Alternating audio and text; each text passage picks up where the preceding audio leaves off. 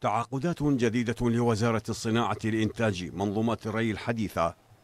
الوزارة التي افتتحت العام الماضي مصنعا للمرشات الزراعية بطاقة إنتاجية تصل إلى 1100 مرشة أشارت إلى تطوير حجم تلك المنظومات لتتلائم حاجة الفلاحين لكميات المياه وفق الطرق الحديثة والمقننة. تم تجهيز وزارة الزراعة ب 475 مرشة محورية خلال العام السابق.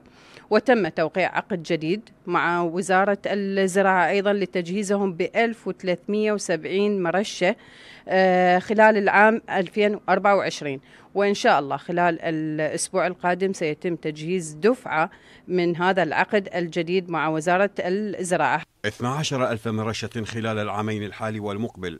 ستسلمها وزارة الزراعة للفلاحين في محافظات نينوى والأنبار وكربلاء والنجف وديالا. أكثر من مليون دونم من أصل أربعة ملايين في الأراضي الصحراوية شملت بنظام المرشات الحديثة وفق الوزارة التي أكدت زيادة المساحات المعتمدة على هذا النظام. تعاقدنا مع وزارة الصناعة بمجموع 133 مليار دينار كمرحلة أولى لتجهيزنا بما يقارب ال 1900 مرشة محورية متعددة الأحجام. وأيضا عندنا تسع مناقصات أعلنت لتجهيز الوزارة بما يقارب 3600 مرشة محورية بمجموع مبالغ يتجاوز ال 250 مليار دينار.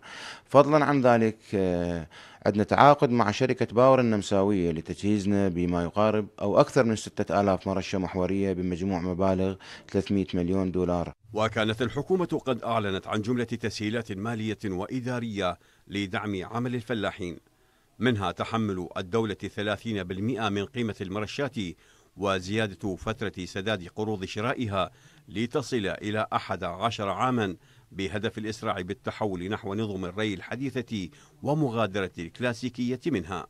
عباس نعمة العراقية الإخبارية بغداد.